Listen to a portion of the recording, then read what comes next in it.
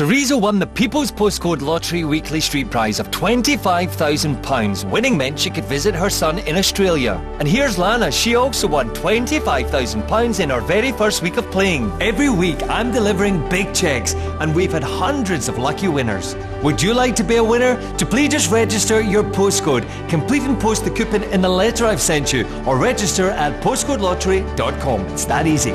Each ticket costs only £2 and 40 pence of this benefits these Scottish charities. I wouldn't like to pass your door when the postcode lottery comes to your street, so play now with your postcode in Scotland's own charity lottery.